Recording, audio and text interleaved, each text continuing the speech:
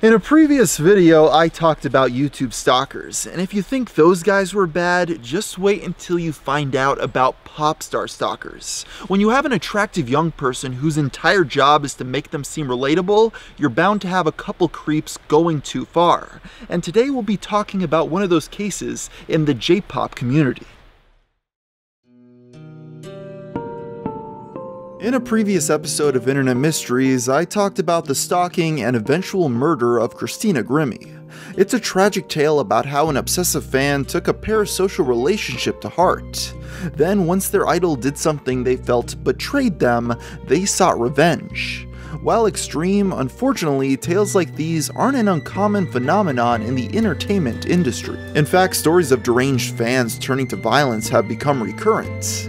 Though we'll be discussing a couple of stories today, these ones will be focusing on the Japanese pop industry, otherwise known as J-pop. So without further ado, let's dive deep.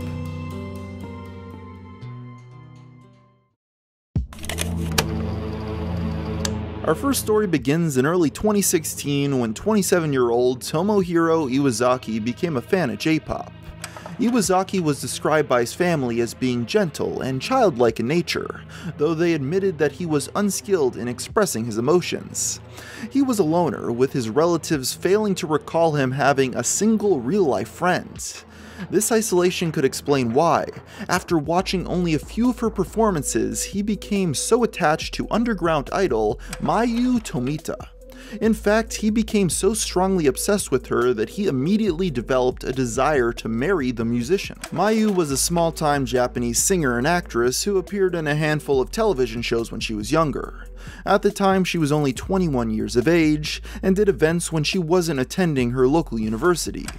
Even today, her Twitter account has less than 15,000 followers, indicating that she was much more accessible to fans than other larger figures in the industry. This would be to the delight of Iwazaki. Overcome with love, he began stalking her across social media. He reportedly left hundreds of comments across both her blog and her Twitter to no response. In spite of his unhinged behavior, his family didn't suspect a thing. He apparently kept his fascination so well hidden that they didn't even know he liked this woman until it was too late. In spite of constantly being ignored, Iwazaki seemed to remain undeterred. For weeks, his parasocial relationship with her continued until February when his ill-fated obsession finally came to a head. It was that month that Iwazaki would send a box of gifts to Tomita's home address. Included in this box were a watch as well as several unspecified books. It was, in his eyes, an attempt to make a move so he could marry his true love. As he waited in anticipation for a response, however, the realization that these feelings weren't reciprocated began to sink in. Tensions grew as the months passed and he slowly realized that a response may never come. As a result, in late April, his fascination with the idol turned into a burning hatred. He began sending hateful messages to Tomita, with the reported total being over 400. Keep in mind that these were all sent in the time span of a month. After being continuously ignored and eventually blocked by her, he then began directing his vitriol towards another female performer who had sung on the same stage as her. He sent her deranged messages as well, demanding that she tell Tomita to return all of his gifts. He was desperate for any kind of response. After pestering this other performer for over 10 days, his wishes were eventually fulfilled. But when his box of gifts eventually did return, all he felt was humiliation. He knew without a doubt that he had been rejected. This led him to start writing comments such as, I will never forget that I was looked down upon by you, and it would be radical to kill just because one was rejected by a girl. Realizing that she could potentially be in legitimate danger, Tomita began taking preemptive measures to protect herself. Aside from blocking him, on May 9th, she reported his death threats to the local police station. Instead of helping her, however, local authorities were dismissive. They claimed that his threats didn't constitute an immediate danger because they were on social media. Thus, in spite of her efforts to secure protection, she was left vulnerable. 12 days after she visited the police station, on May 21, 2016, Tomita was set to perform at a small concert venue in Tokyo. According to her Twitter, she was to be performing at the event Solid Girls Night Volume 11. Iwazaki, having stalked her social media, knew of the performance that was occurring at the event, so he traveled there and began waiting outside the nearby train station for hours. Eventually, at around 5 pm she arrived. Almost immediately upon spotting her, Iwazaki approached. He began furiously shouting for answers, demanding to know why she returned the gifts he had sent to her. Unprepared and frightened, she apparently responded with an unclear answer before turning around to leave. Finding her answer unsatisfactory, Iwazaki ambushed the singer, stabbing her from behind with a pocket knife. It was reported by eyewitnesses that he began shouting, Die, die, die, as her screams of pain echoed from the surrounding areas. When law enforcement arrived, they found the pocket knife lying on the floor next to her, and Iwazaki standing nearby. When asked about the attempted murder, he immediately confessed, admitting to police that he intended to kill her. He told them that he'd ambushed her at the station and asked about the gifts. Then he lost his temper and stabbed her many times because she didn't clearly answer. In total, Mayu Tomita suffered 34 stab wounds across her face, neck, back, and arms. As a result of her injuries, she fell into an unconscious state, which she would remain in for over a week. She was in critical condition, though her injuries were thankfully non-fatal. None of her vital organs were wounded, and as a result of the attack, she reportedly had trouble eating and singing, also suffering from partial blindness in one of her eyes. She was also diagnosed as having post-traumatic stress disorder, stating in an interview that whenever she sees someone holding something, even if it's someone she trusts, like a friend or a doctor, she becomes extremely nervous because she fears she could be stabbed again. Iwazaki pleaded guilty in court and is currently in jail. He was sentenced to 14 and a half years in prison, meaning that he currently still has 12 more years to serve. Though he since claimed that he never intended to murder Tomita, from his Twitter messages to the eyewitness accounts, there's an abundance of evidence suggesting otherwise. In July of 2019, Tomita filed a lawsuit against the Tokyo Metropolitan Government for its failure to meaningfully protect her, seeking 76 million yen in compensation. Because of their preconceived biases towards social media, they left her vulnerable to an ultimately preventable assault. Although the lawsuit has yet to be settled, her case already forced Japan to revise their anti-stalking laws, placing more significance to threats made on social media. But as you'll see in the next case, this may still not be enough. As technology advances, it's becoming harder and harder for celebrities to keep their personal lives separate.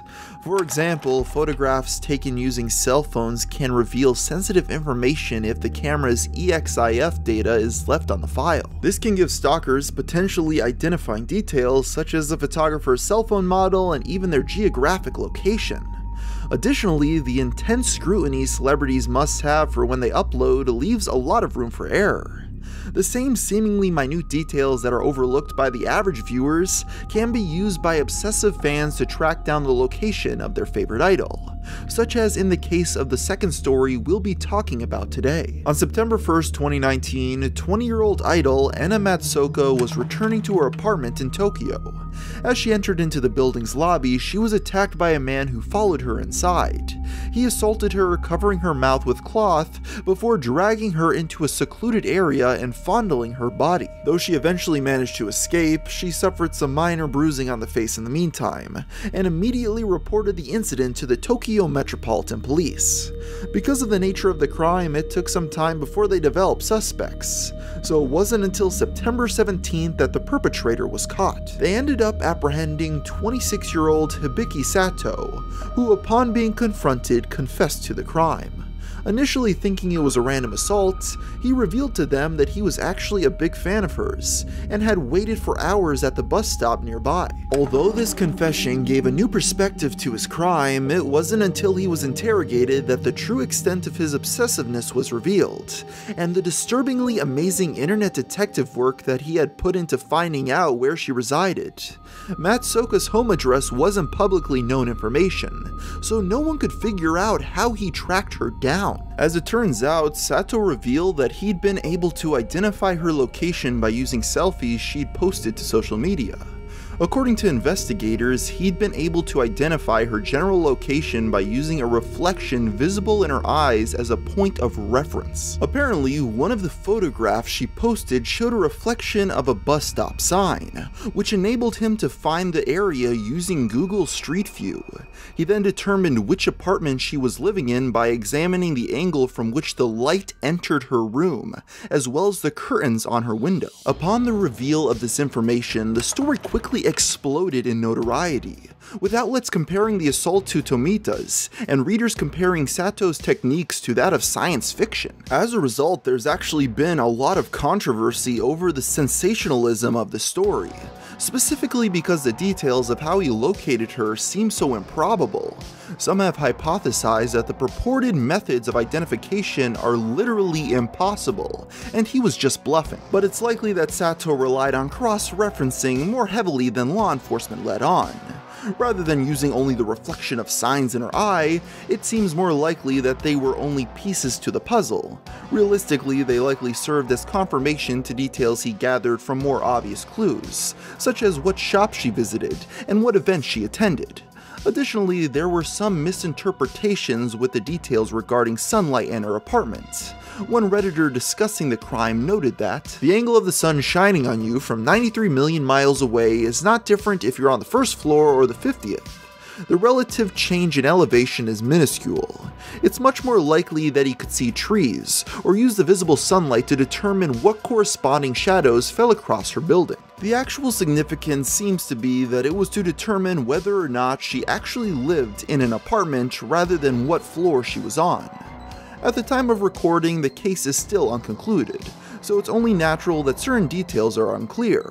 Regardless, the premeditation of his attacks shows how conniving some fans are. While this most certainly isn't representative of all J-pop fans, as a whole it seems like an extremely dangerous industry to participate in. There's been an uproar for the better protection of female idols, as the number of stalking and assault cases over the years continues to grow. At the end of the day, these kinds of industries feed off lonely people and the formation of parasocial relationships. Because of this, it's unclear if an end to this phenomenon is even possible without an extreme reform to the industry's marketing strategies. I know I've said this before, but I'll say it again. It is not okay for you to track down your idol and then stab them repeatedly. And with that thought, I'll end the video here. So until next time, thanks for watching.